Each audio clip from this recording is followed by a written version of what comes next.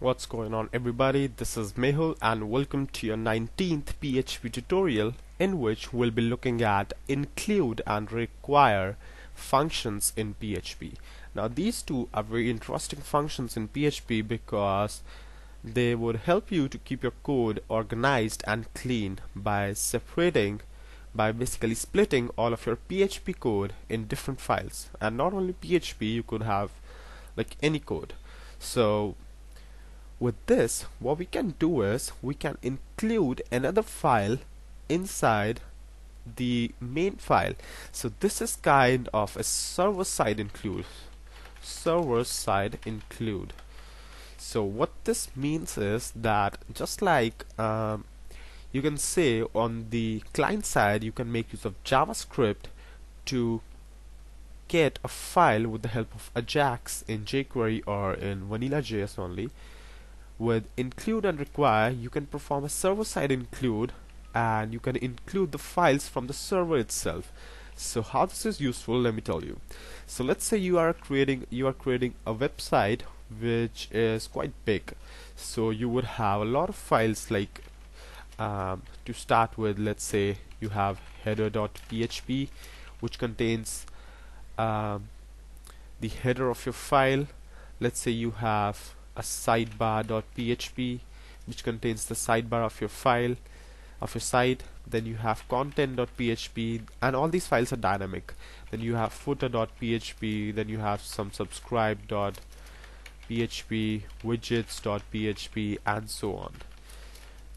So to create a single page with just like you can say to create your home page you would need all these files to include headers sidebar content.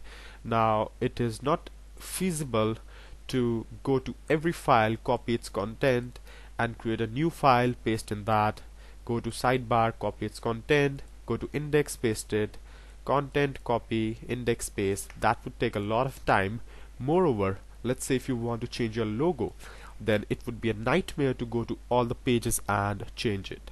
So what comes to the rescue is the PHP's include and require functions. So these two functions what they would do is they would include a file automatically. So let's say I'll just create a function here. Let's say not a function sorry a file here. This is a demo file. So let's say I just write here echo or yeah okay. So let's say I just write here echo div. I am in a div. And I save it as a file file.php let's say so here you go. I have this simple file with file.php and let's say I want to include this file here. So what I'll do is I'll write include file.php now when I will run this 19.php page you see the 19 one not the file.php you see I got div I'm in div and poor me I didn't close the div yet okay so well that doesn't even make a difference.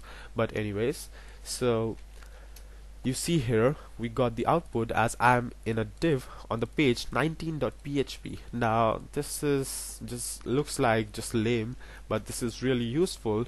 For example you want to pass some variables as well. So let's say this is your custom page and you have a, like a title here with um, this is custom title and you want to you have the this one the 19.php is your sites template and you have inside HTML PHP echo title. So even though this um, title variable is not defined anywhere on this page but since you are including this file and title is defined in that file therefore it would work here. So you can say that variables are automatically copied into the scope whenever you are including a file. So you see that the title got changed to this is a custom title. So that's how it works. Now what's with require and what's the difference? Well if you see then include and require has one major difference is that and that is that include would not crash the code if the file is not found. By that what I mean is let's say I I want to include a file which does not exist. Let's say file do file2.php and I have some text here echo um, this would run later on. So when I'll run this 19.php script you see that I got a warning include file2.php failed to open stream no such file or directory.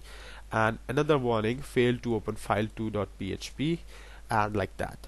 But what happens with require? When I type require instead of include I'll get a fatal error instead of a warning. So and as you can see that this line is not output is not outputted inside in the require one. So when I'm using require as an example then the code execution is stopped here. So this is stopped S-T-O-P-P-E-D stopped here. As soon as file or that's a bit wrong stopped here if the file is not found so require stops the execution of your script if the file is not found.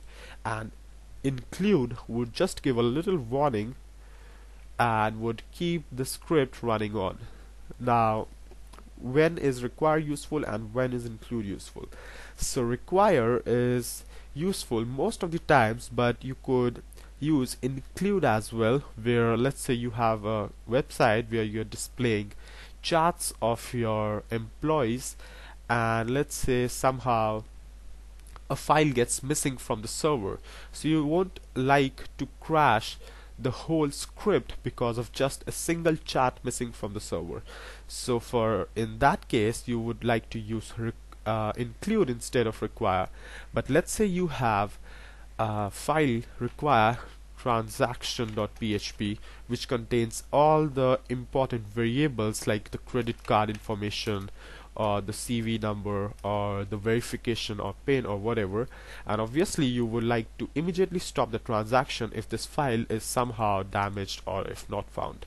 So these are basically the main use of require and include. This would help you to keep your code clean and nice because as the code grows you can split the code in different files and then include them include the files at different areas. So that's it for this tutorial and don't forget to subscribe and thank you for watching